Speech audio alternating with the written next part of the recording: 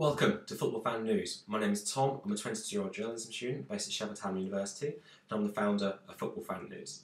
In this first episode of Football Fan News TV, I'm going to explain to you guys what we're all about, what we're looking to achieve, and who's involved in this project. What we are is a fan based site, uh, which means we're going to bring you up to date with the latest news, features, transfer rumours, managerial changes, interview, debate, basically any means possible to try and keep you guys as up to date and entertained as possible. Um, what we want to achieve, we want to create a big fan base. We want to make a good, a positive impact as possible on fans around the world. So we'll be covering Premier League, um, leagues across Europe, so Serie A, La Liga, the Bundesliga, and try and reach as many people as possible. Who's involved? Um, there's a group of us, um, group of students, journalists Sheffield Hallam, and we're all committed to try and get this ambitious project off the ground. How's it going to work? Um, we're going to be keeping our Facebook pages, our Twitter pages, constantly updated with the latest news, features. What I said earlier, it's very boring, you don't need to hear it again. Um, we're also going to create uh, a YouTube channel. In fact, there is a YouTube channel already. Um, and from that, we're going to put a daily bulletin on there, which will mainly uh, presented by myself, but may occasionally be presented by somebody else. In those bulletins, we're going to give you the latest news, latest ongoings, what's happened during the day. Um, we're going to try as the project grows forward, uh, bring you interviews, um, try and get possibly players, managers on. But you know, we are a student-based uh, group, so it is going to be difficult to begin with. But please do stick with us. Right, time to move on to the football. The whole reason why we're here. Um, only one place to start, really, and that's the Euros, which last night saw Group A concluded. Um, Poland and Russia are out, which means the Czech Republic and Greece, 2004 champions Greece, are through to the quarters. Um, not many people thought that would happen after the opening round of, um, of fixtures, sure, Russia obviously went 4 1 against the Czechs. So to see the Russians go at this early stage, I think big shock, biggest shock of the tournament so far. Um, another line from Poland, uh, their coach, uh, Franciszek Smuda, if that's how you pronounce it, um, his contract will not be renewed and he'll be leaving after three years uh, as manager, coach. Moving on to Group B, uh, the group of death. Um, all four teams can still go through this evening, but all four teams can also be eliminated. So there's lots of different permutations, which I'm going to go through with you now. Um, I will be posting on Facebook and Twitter because there's a lot, a lot to go through. And I've even, I've even got to look down my trusty notes to uh, to do so.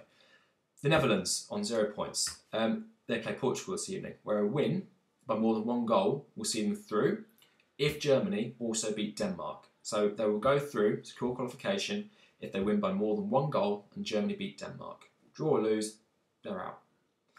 Denmark, they take on the Germans, where a win will seem to secure qualification, and a, draw will only be enough if Netherlands can beat Portugal. Lose and they're out. Portugal. A win will see them secure qualification unless Denmark beat Germany 3 2 or by a higher scoring one goal margin. A draw will see them secure qualification if Denmark do not beat the Germans. They can still go through even if they lose tonight with a one goal defeat if Germany beat Denmark, but any more and they're out. The Germans, people's favourites, go through and winners of this group. Um, win or draw, they finish the group as uh, winners. Simple as. They can still go through with a 3 2 defeat or a higher scoring one goal loss. Otherwise, they are out if Portugal beat Netherlands, but through if the Portuguese do not claim three points. In other news, UEFA have confirmed that they'll be opening disciplinary proceedings against the FA after alleged that a segment of England fans tried to invade the pitch during their 3 2 victory over Sweden on Friday evening. The FA, however, insists will fight any charge sent their way as they believe there were no behavioural problems during the course of the game.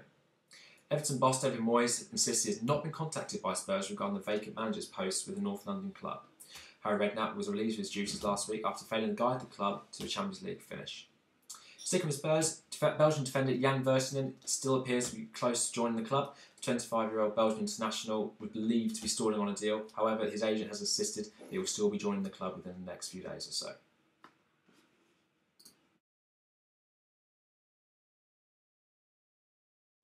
So that's it for our first episode.